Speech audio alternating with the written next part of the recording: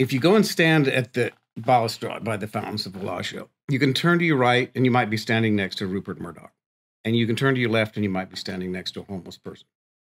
Both people have paid the same price to see what would, in today's dollars, be at least two, three hundred million dollar show.